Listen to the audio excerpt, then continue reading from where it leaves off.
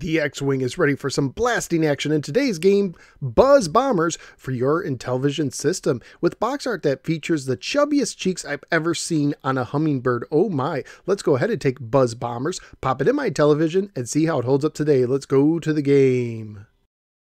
Buzz Bombers was published by Mattel and carries a copyright year of 1982. It was programmed by Mike Breen. According to the manual, little Buzz Bombers keep barreling down towards your spray can. Blast one with a spray that sends them into a tailspin. Now you've got a honeycomb and a hundred points, but keep moving. Moment by moment, your spray can is being hemmed in by flowers. Make every shot count. You hit two bees with one shot, but the Buzz Bombers have other tricks up their little bee sleeves. Here come the worst bees of them all, the Buzz Bomber Killer Bees. Spray them all and watch the points pile up.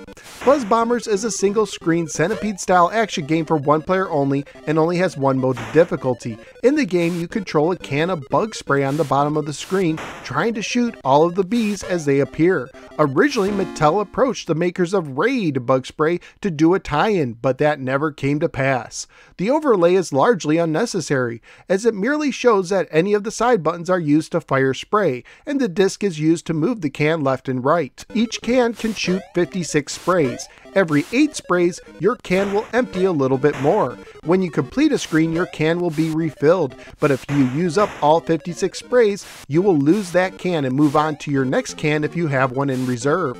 There are two types of bees that will make their way down the screen. Yellow worker bees are the slowest of the two. They bounce off of honeycombs, or if they get stuck by the honeycombs, they will create a beehive. That will give you bonus points at the end of the level. When shot, they leave behind a yellow honeycomb. White killer bees move much faster and pass right through honeycombs. They will leave behind red honeycombs when shot. There's also a hummingbird. You get bonus points if she eats a honeycomb, but she also gets in the way of your shots. If you shoot her too much, she will get sick, leave the screen until she feels better, and return. If a bee makes it all the way to the bottom of the screen, they will create flowers that limit your movement and will later return sometimes as a different type of bee. If the bottom of the screen gets completely covered in flowers, you will lose a can and have to restart the level over if you have another can in reserve. If you clear all of the bees, you will move on to the next level. Scoring wise, you get 100 points for hitting a worker bee and 1000 points for hitting a killer bee.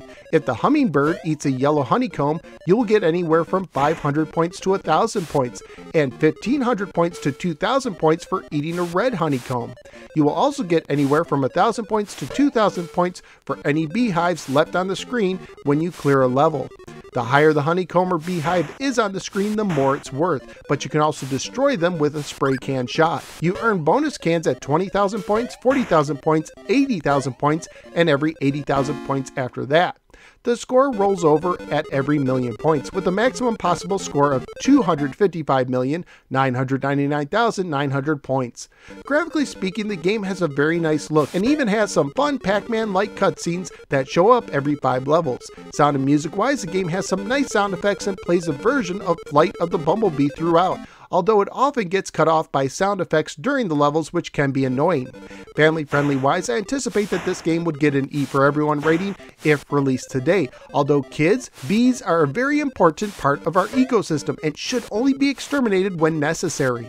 At the time my research on eBay, including shipping, loose copies were going for $7, complete copies were selling for $10 to $18, and new copies were selling for $15 to $25. So what did I think of Buzz Bombers? First of all, it can be hard to actually hit the bees, and my hand did get cramped after using the standard Intellivision controller for a while.